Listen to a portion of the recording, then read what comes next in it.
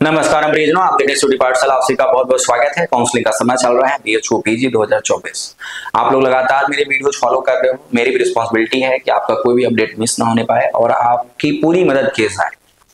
तो आप बस चैनल को सब्सक्राइब कर लो बेल आइकन को प्रेस कर लो और उस घंटे को दबा लो जिससे कोई भी अपडेट मिस ना हो सके। क्योंकि आज रात 9 से 10 बजे के बीच में मैं आपको ऑफिशियल कट ऑफ़ देने वाला हूँ, जो कि शायद ही कहीं किसी यूट्यूब चैनल पर देखने सुनने को मिला है।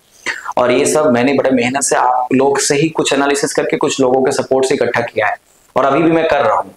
तो आप मुझे इस वीडियो में ये भी कमेंट करके बताओगे कि एक्चुअली किस किस कोर्स का ऑफिशियल कट ऑफ़ चाहिए, यानी इंडिंग मार्क्स चाहिए। और ये हर किसी को जानना चाहिए जिसका अपग्रेड होने की संभावनाएँ है यानी जिसको मनचाहा सब्जेक्ट्स नहीं लोकेशन नहीं मिला है एफिलेटेड मिल गया है और डीएमसी चाहता है तो वो भी अपना आ, अपना ये क्वारीज जो है वो डाले उसमें कमेंट बॉक्स में। और जिनका नहीं हुआ है वो तो ज़रूरी है वीडियोस देखें ठीक है? हम लोग आज देखेंगे कि एक्चुअली बीएचयू का जो अपग्रेडेशन मेथड है ये फॉलो कैसे होता है? ये अपग्रेडेशन मेथड जो है ये वर्क कैसे करता है? लेकिन ये जानने से पहले हम लोग कुछ इंपॉर्टेंट पॉइंट्स जानने वाले हैं जो कि अभी आपको दिमाग में बैठाना है। सबसे पहले जो अवेटेड वाले बच्चे थे, यानी जिनका अपियरिंग था, जिनके ग्रेड कार्ड अवेलेबल नहीं थे, उन्होंने शायद चार सेमेस्टर तक का अपलोड कर दिया था, वो लोग अपना मोबाइल ऑन करके रखें और अपना मेल बार बार चेक करें, क्योंकि ये बच्चे जो हैं, ये स्पेशलाइज कहीं ना कहीं फोकस्ड किए गए हैं स्पेशल काउंसलिंग के काउंसलिंग के लिए। यानी आपको मस्ट है कि कॉल जाएगा और आपसे जो ग्रेड कार्ड है, वो मांगा जाएगा।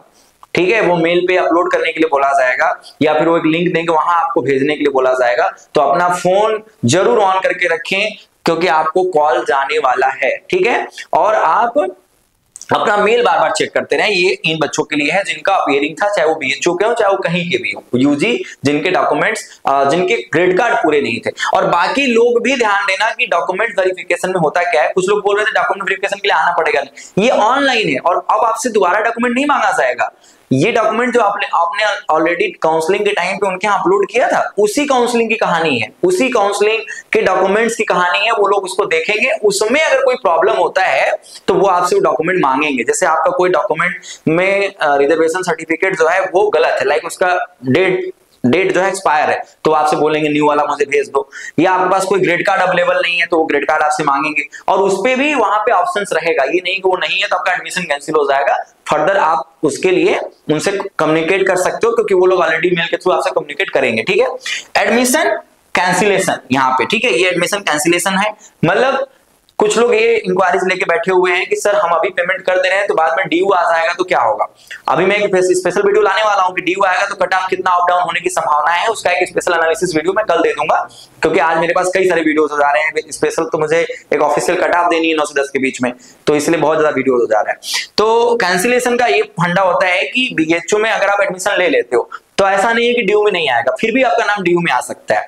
जब आपका ड्यू में आएगा और आपका घर परिवार ड्यू के पास रहता है या आपका पहले से ड्रीम था कि आपको ड्यू में ही जाना है तो आप ड्यू जा सकते हो, कोई इशू नहीं है। आप ड्यू में जाके पढ़ सकते हो। यहाँ का एडमिशन कैंसिल करा लेना फिर। कैंसिलेशन का ऑप्शन आपके पोर्टल पे अवेलेबल रहेगा, पूरे काउंसलिंग के समय। वो अभी जनरेट हो जाएगा, जब आपका पेमेंट होने लगेगा तब। तो आप लोग बिल्कुल परेशान ना हो।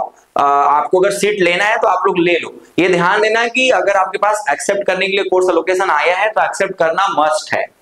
ठीक है? Second round cut off second round cut off का जो वीडियो है, वो स्पेशल में दूँगा कल दोपहर में कि वो कब तक आएगा, इसके लिए अभी मैं ऑफ़िस में बात करूँगा। उससे रिलेटेड जो लोग हैं, उससे बात करके कंफर्म करूँगा। क्योंकि मुझे भी एक कंफ्यूजन है कि जो सीट बीच में छोड़ रहा है तुरंत तुरंत जो लेफ़्ट कर रहा है, जो लोकेशन एक्सेप्ट ही नहीं करेगा, क्या उसको तुरंत लोग वैकेंट सीट को भरने की कोशिश करेंगे? या एक प्रॉपर डेट के साथ सेकंड राउंड लाएँगे? तो ये चीज़ें मैं डिस्कस करके फिर आपको इन्फॉर्म करूँगा। इन तमाम अपडेट्स के लिए चैनल को सब्सक्राइब ज़रूर कर लीजिएगा। ध्यान देना कि ज़्यादा नहीं हम लोग का ट्वेंटी के का बस प्लानिंग है। हम लोग का इस बार काउंसलिंग में ओनली ट्वेंटी के का प्लानिंग है। भाई, दस, बीस हज़ार सब्सक्राइबर आराम से अपने दोस्तों के थ्रू आप जोड़ सकते हो, जिससे हमारा हंड्रेड के हो जाए। और आप ऐसा करोगे, आप सेलेक्ट होकर जब बीएचओ में आओगे, चूँकि आप पीजी के विद्यार्थी हो तो आप लोग मेरे चैनल पे काम भी कर सकते हो लाइक पढ़ा सकते हो टीचिंग कर सकते हो, ये तमाम चीज़ है। सो प्लीज़ आपसे निवेदन है कि आप एक अच्छे चैनल को प्रमोट करें सब्सक्राइब करें। आइए, अब हम लोग आ जाते हैं अपग्रेडेशन मैथड जो रूल फॉलो होता है। बेसिकली ये मैंने एक बना लिया है अपग्रेडेशन का एक एल्गोरिदम की डीएमसी आप टॉप पे रखते होगे फिर एमएमबी आप रखते होगे फिर वीसीडब्ल्यू फिर वीकेएम एएमपीजी मान लो इसमें कुछ आरजीएससी भी होगा तो आरजीएससी कुछ इसी तरीके से फॉलो होता होगा एक डीएवी मान लो रहता होगा ठीक है इसी बीच में मैं कहीं पे एक डीएवी डाल देता हूँ ठीक है ओके मान लो ये इस तरीके से कुछ फॉलो होता है अब ये जो आपका लाइन है one two three four five six करके, ये बेसिकली कैसे अपग्रेड होगा इसको समझते हैं। सपोज़ कि किसी स्टूडेंट को, कोई एक स्टूडेंट है, जिसको थर्ड नंबर यानी वीसीडब्ल्यू ठीक है वीसीडब्ल्यू अभी के लिए मिला हुआ है, ठीक है? वीसीडब्ल्यू अभी के लिए मिला हुआ है। अब वो चाहता है कि उसको मिल जाए क्या? उसको मिल जाए डीएमसी डीएमसी मतलब डिपार्टमेंट ऑफ़ मेन कैंपस ठीक है? डीएमसी उसको मिल जाए। डिपार्टमेंट ऑफ़ मेन कैंपस तो अब ये लेने के लिए उसको आ, ये थर्ड प्रेफरेंस उसको मिला हुआ है ठीक है? अब उसको दो पे जाना पड़ेगा और एक पे जाना पड़ेगा ठीक है? ऐसा ही कुछ होगा। तो ऐसे में अब वो सेकेंड राउंड तक एमएमबी पे पहुँच सकता है या पहुँच सकती है। और वो उसके बाद वाले राउंड पे डीएमसी तक ठीक है? वो पहुँच सकता है। यानी कि एक बच्चा जो है, वो अगर फ़र्स्ट राउंड में सीट ले लिया है तो वो सीट कभी भी एज इट इज़ नहीं रहने वाली है। दूसरा एग्ज़ाम्पल समझते हैं हम लोग, कोई बच्चा अगर अभी पेड पे एडमिशन ले रहा है, ठीक है, अगर उसको अभी सीट जो है, वो पेड सीट मिल रहा है ध्यान देना, अगर उसको ये पेड सीट अगर मिल रहा है तो ये पेड सीट नेक्स्ट राउंड में रेगुलर होने की संभावना लगभग 80 परसेंट से ज़्यादा है। आप इसको 80 परसेंट ना समझ के इसको 90 परसेंट समझो तो ज़्यादा अच्छा है। 90 प्रतिशत चांस है कि ये पेड अभी रेगुलर में कन्वर्ट हो जाएगा। यहाँ पे आपके लिए जो चिंता वाली बात है वो ये है कि जिनको भी इन कॉलेजेस में एडमिशन मिल रहा है एएमपीजी वीकेएम डीएवी में जिनको एडमिशन मिल रहा है, इनकी फ़ी बहुत ज़्यादा है। इनकी फ़ी बहुत ज़्यादा है। एमकॉम के लिए लगभग 20 से पच्चीस हज़ार इनकी फ़ीस होगी, एक बार आप चेक कर लेना। तो जब ये पोर्टल पे आपके लिए फ़ी आएगा ना तो बड़ा लंबा चौड़ा फ़ी आएगा। तो आप ये दिमाग में बैठा लेना कि कोई अगर पाँचवें प्रेफरेंस पे, यानी एएम पीजी पे है और उसको उठ के डीएमसी जाना है तो ऐसा नहीं है कि उसको डीएमसी मिल जाएगा। मैं तीसरे को एक पे पहुँचा सकता हूँ, दूसरे को पहुँचा सकता हूँ। लेकिन पाँचवें को बड़ा मुश्किल है। और खासकर जब जनरल ओबीसी कैटेगरी हो कि आप इस कैटेगरी में इधर आते हो तो आप प्रमोट नहीं कर पाओगे, ठीक है? प्रमोट एक ही सर पे आदमी हो सकता है जनरल ओबीसी का, जब वो इधर कहीं अटका हुआ है, या वो एस सी का है, इधर कहीं अटका हुआ है एस टी वाला यहाँ अटका है तो भी एक बार यहाँ तक पहुँच सकता है।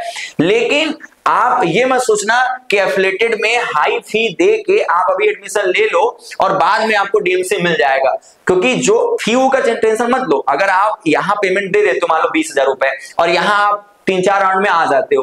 तो आपका जो बचा हुआ फ़ी है, वो मेजर हो जाता है मॉपअप हो जाता है जगह जगह उसका प्रोसेस मैं बाद में बता दूँगा। ऐसा नहीं आपका फ़ी डूब जाएगा, ठीक है? मतलब कैंसिल करने पेमेंट आपको वापस मिल जाता है पूरा। और बाकी आप अगर ये एक्सचेंज हो जाता है अपग्रेड होता है तो अपग्रेड होने में आपका पेमेंट जो होता है, वो बैलेंस कर लिया जाता है ऑफिशियली उसका कोई दिक्कत नहीं है। अपग्रेड करने का जो ऑफिशियल आइकन है, वो कहीं अभी विजिबल नहीं है। ये आप लोग को समझ में आ रहा होगा। बस हम लोग से पूछा गया है कि कोर्स एक्सेप्ट करो, आप अपना सीट फिक्स कर लो। लेकिन लॉजिक ये कहता है कि अगर आप थर्ड किसी को अलॉट करते हो तो लॉजिक ये कहता है कि वो सेकेंड और थर्ड फ़र्स्ट के लिए भी दावेदारी रखता है। तो जब भी वो राउंड चलाएँगे, ये अपग्रेड करके ही राउंड चलाएँगे अकॉर्डिंग टू द रूल ये एडमिशन का रूल है यूनि फॉलो करना ही पड़ेगा। तो जब भी सेकेंड राउंड आएगा, मैं पूरी उम्मीद करता हूँ कि जो थर्ड वाला है, बचे हुए ऊपर के बच्चे जो पेमेंट नहीं किए होंगे, उनकी सीट उनको दी जाएगी और ये अपग्रेड ऑटोमेटिकली हो जाएगा। तो वरिड नहीं होना है। मतलब मैं आपको दो चीज़ें बताया। एक तो जो आपका मार्क्स बहुत कम है ऑलरेडी आप जनरल कैटेगरी में हो और पेड पे आपको लास्ट में मिला हुआ है। तो आप ये मत सोच लेना कि आपको अपग्रेड करके और मिलेगा। मतलब डीएमसी तक नहीं पहुंचाएँगे, आप इधर कहीं अटक सकते हो। तो आप ये सोच के कि हम डीएमसी ले ही लेंगे एडमिशन पेमेंट कर देते हैं तो वो वाला गलत हो जाएगा। ये सोच के कि हाँ बीएचयू में पढ़ना है, कहीं हो जाए, तब आप आराम से पेमेंट कर सकते हो। ठीक है? ये वाला कॉन्सेप्ट मैं समझ गया। और बाकी इधर वाले बच्चे जो है, वो डरे ना, वो डीएमसी में जा सकते हैं। मेरे टाइम पे मेरा जो था, मान लो पीजी में तो मेरा फ़र्स्ट राउंड में एडमिशन हो गया था, लेकिन मेरा यूजी में शायद सातवां प्रेफरेंस मुझे उस समय मिला था। सेवन प्रेफरेंस मिला था और धीरे धीरे अपग्रेड हुआ मेरा। सब्जेक्ट बता रहा हूँ, मेरा तो स्टार्टिंग से ही मेरा एफएमसी में एडमिशन था। ठीक है सब्जेक्ट्स की बात बता रहा हूँ, मेरा एडमिशन एफएमसी में हुआ था, लेकिन मेरे सब्जेक्ट्स में सातवां प्रेफरेंस था और वो दो से तीन दिन में फ़र्स्ट प्रेफरेंस पहुँच गया था। तो उसी तरीके से मैं आपको बता रहा हूँ कि प्लीज़ आप लोग का अपग्रेड होगा, लेकिन पेशेंस रखना है और अपने पोर्टल को बार बार चेक करना है, अपने कॉलिंग नंबर को ऑन करके रखना है। मेरा इंस्टा आईडी निर्देशन कोई प्रॉब्लम होता है तो वहाँ मुझे फॉलो करके मैसेज करना फेक आईडी से मत करना, पक्का आपको रिप्लाई मिलेगा, ठीक है? तो मुस्कुराते बहुत सी शुभकामनाएँ। सबसे बेस्ट प्लेस बता रहा हूँ कि आप इस चैनल को सब्सक्राइब ज़रूर करके रखें, क्योंकि यहाँ पे हर कुछ आपको टाइम से अपडेट कर दिया जाएगा। और जल्द ही मैं आपके लिए ऑफिशियल कट ऑफ़ लिस्ट लेकर आता हूँ, फिर आप उसको देखिएगा, फिर एंजॉय करिएगा। मुस्कुराते बहुत सारी शुभकामनाएँ, हर महादेव। All the best